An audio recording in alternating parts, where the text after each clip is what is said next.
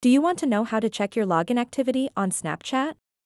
In this video, I will show you how to check your login activity on Snapchat. I'll walk you through all the steps, so make sure to watch this video until the very end to understand the tutorial properly. To get started, open up the Snapchat app and then tap on the Bitmoji profile picture icon at the top left corner of the screen.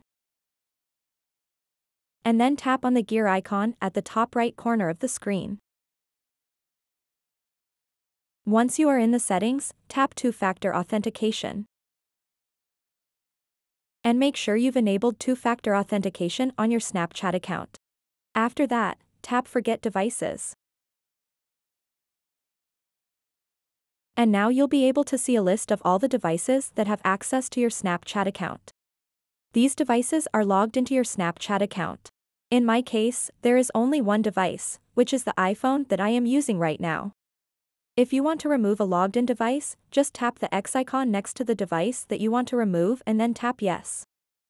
So that wraps up this tutorial. If you have any questions about this whole process, please let me know in the comments section below. And if this video helped you out, please give it a big thumbs up and subscribe to this channel for more tutorial videos like this one. Thank you so much for watching and have a good day.